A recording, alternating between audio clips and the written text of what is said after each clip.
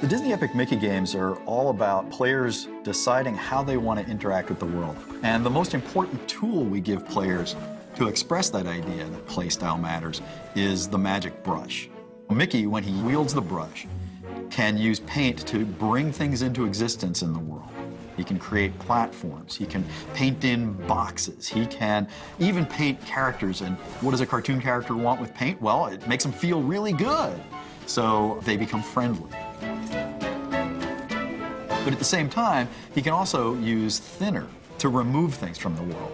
Well, you can imagine what that would do to uh, a character. It would erase them, it would remove them from the world. If there's a wall blocking you, Mickey can just spray it with thinner and remove it so he can just walk right through.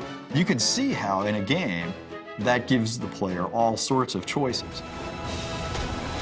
It's not that one is right and one is wrong. It's just what do you think defines a hero?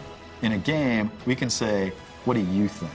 And the magic brush is the vehicle through which we do that in the Disney Epic Mickey games. Paint the world or thin it to nothingness. The choice was his.